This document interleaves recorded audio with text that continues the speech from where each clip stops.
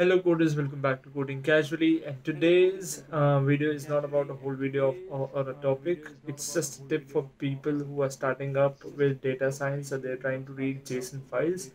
Uh, you can, of course, uh, you want to go through the route which uh, leads to importing the JSON module and then importing the CSV. What you can do is instead you can simply import uh, pandas as PD and then you can say that the data frame equals to pd dot read underscore json and then you can say r.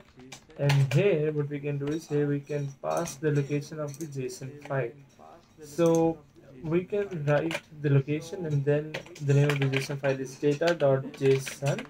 And then if you would uh, say data frame you will see the read file which is the json file. But now what you can do is you can simply say to underscore csv and then pass the same same parameter again if you want to.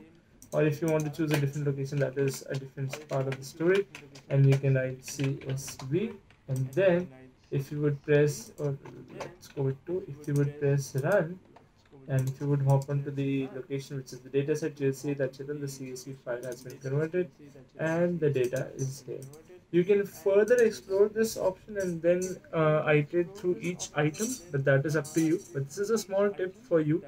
Uh, you can use pandas library to read the json file and then dump it into the csv file.